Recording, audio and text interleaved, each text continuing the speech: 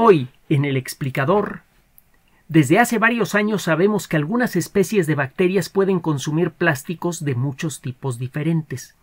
Un trabajo reciente revela que el número total de especies con esa cualidad es mucho mayor de lo estimado. Además, y en exclusiva para nuestros patreones, uno de los aspectos más misteriosos de Júpiter es el exceso de luz infrarroja que emana de su atmósfera. Un trabajo reciente sugiere una posibilidad extraordinaria que, de ser cierta, ayudaría a resolver uno de los misterios más profundos del universo.